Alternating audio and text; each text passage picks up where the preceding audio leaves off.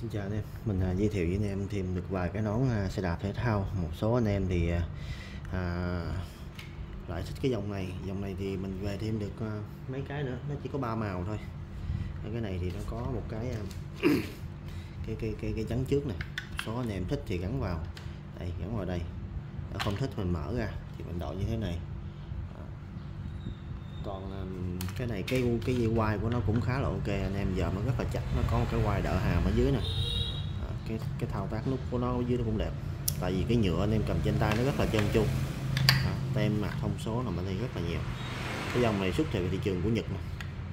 Thị trường này nó có cái nón này nó có cái hay là cái size một số anh em á, size đầu lớn thì họ không không đội được. Còn cái này nó có mức độ chỉnh phía sau để mình ôm theo cái đầu. Ờ, mình ôm mình chỉnh cái size như thế này rất là tiện. Tại một số size anh em ờ, những cái nón mà dòng tốt ờ, của Trung Quốc bán thị trường mình á, thì nó không có cái đèn này ở đây nó có cái đèn. Mình muốn mở cái đèn này ra nó có hai cái khắc bên hông này nhỏ này nè mình lấy cái cây nhỏ cây nhỏ nhọn này, mình chích vô hai bên nó sẽ văng cái nút này ra cái nắp này ra mình thay pin. Cục pin tốt thì 50 ngàn cục pin rẻ thì nó khoảng hai ba chục gì đó mười mấy mình không gạch cục pin tốt thì xài cũng lâu nó có ba chế độ cháy cháy chớp cháy ít cháy nhiều cháy xuyên suốt luôn. Đó, thì ở đây nó có cái kính đây mình mở ở đây đi. Nó có cái kính này đó.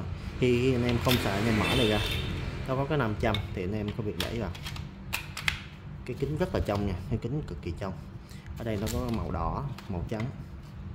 Màu đỏ này nó có cái ánh ờ, giống như ánh phản quang màu trắng này cũng vậy nó có cái viền chỗ này. Còn cái cái nón này là nón ờ, sợi carbon. Đó, nón sợi carbon màu này. Cái màu carbon đó, cái ba màu thôi. Ai alo cần thì alo mình. À, xin chào anh em.